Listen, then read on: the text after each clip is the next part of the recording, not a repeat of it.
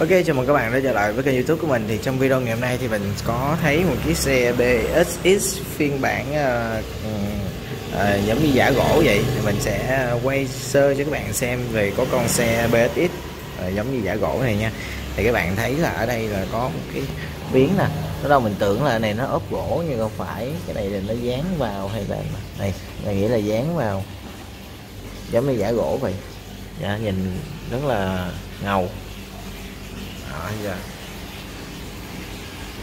đó, yên cũng làm cái ờ, màu này giống như là gỗ vậy. Rồi, trước là được dán lại hết rồi. Thì rất là hầm hố. Rồi mình sẽ quay chi tiết cho các bạn xem nha.